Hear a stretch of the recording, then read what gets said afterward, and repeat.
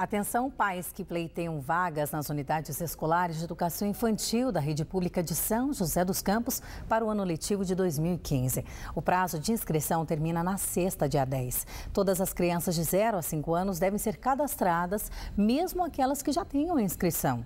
Mais informações pelo 12 3901 2007.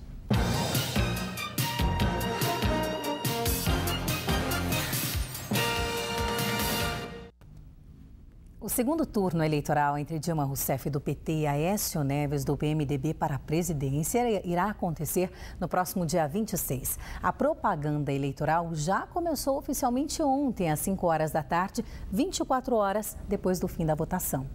A partir desta hora, os candidatos poderão voltar a usar alto-falantes e amplificadores de som, além de realizar comícios e distribuir material de propaganda, como panfletos e santinhos. Antes disso, qualquer campanha configura propaganda antecipada, segundo o TSE, Tribunal Superior Eleitoral.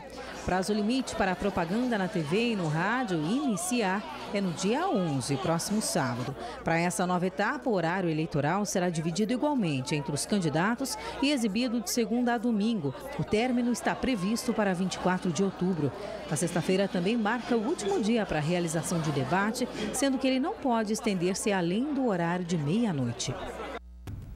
Correção, o candidato Aécio Neves é do PSDB. Amanhã, às 5 horas da tarde, acaba o período de cinco dias em que nenhum eleitor e candidato poderá ser preso ou detido, a não ser em flagrante. A regra volta a valer para eleitores no dia 21 e para os candidatos no dia 11. As eleições presidenciais garantiram à região metropolitana do Vale quatro representantes no Congresso e na Assembleia Legislativa. A gente mostra agora a você, telespectador do Band Cidade Primeira Edição, um perfil de cada um deles.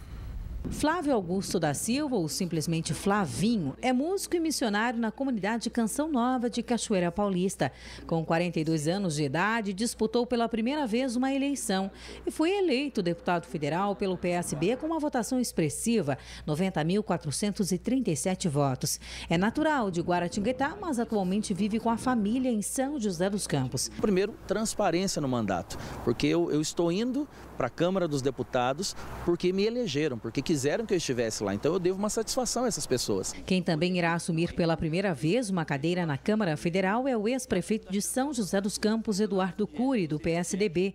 Ele foi o mais bem votado da região, com 185.638 votos.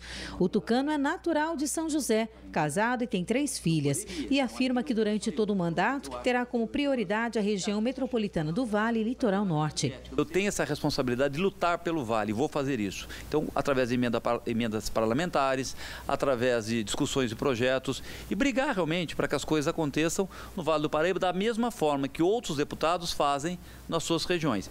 Na Assembleia Legislativa, os eleitores reelegeram representantes do Vale. Natural de Redenção da Serra, ordenado padre em 1988, Afonso Lobato assumiu pela primeira vez uma cadeira na Assembleia Legislativa em 2002 e conseguiu ser eleito deputado estadual pelo PV. Em 2008 e 2012, tentou ser prefeito de Taubaté, mas perdeu as eleições. O político descartou disputar novamente o pleito municipal de 2016.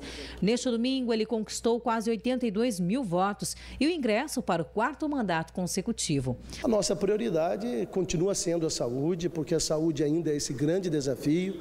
Nós vamos trabalhar para a implantação junto ao governo do estado, para a implantação do hospital regional aqui no Vale Histórico, é extremamente importante. Hélio Nishimoto, do PSDB, tem 50 anos, é casado e pai de três filhos. Natural de Presidente Prudente, em São Paulo, mudou-se para São José com 15 anos. Ele é formado em administração de empresas e, antes de se tornar deputado estadual, foi eleito vereador em São José por quatro mandatos consecutivos, entre 96 e 2008. Nas urnas, foi reeleito com 137.249 votos. Eu gostei muito do trabalho de que, que vem sendo feito no ensino integral nas escolas estaduais. Isso eu quero trazer para muitas escolas aqui do Vale do Paraíba. E na área de saúde, que sempre tem uma demanda grande, quero atrair mais recursos do Estado para a gente é, aumentar a capacidade de atendimento na saúde pelo SUS aqui no Vale do Paraíba. Bom, apesar da região perder quatro cadeiras no Congresso e Assembleia Legislativa, o Vale tem a possibilidade de aumentar a representatividade na política. São suplentes na Câmara Federal Amélia Naomi do PT e Toninho Ferreira do PSTU. Já na Assembleia Legislativa, Flávia Camargo do PHS, Graça do PSB e Itamar Cópio do PMDB. Eles assumem caso algum dos eleitos sejam afastados por licença médica ou renúncia do cargo. Termina assim o Band Cidade. Reveja as reportagens de hoje em nossa página na internet. Mande sugestões aí da sua comunidade pelas redes sociais. Afinal, estamos no Twitter e Facebook. Você fica agora com o Vale Urgente e o repórter Tony Blade. Mais notícias da região 10 para 7 da noite no Band Cidade, segunda edição, com Mônica Arruda. Obrigada pela audiência. Boa tarde e até amanhã.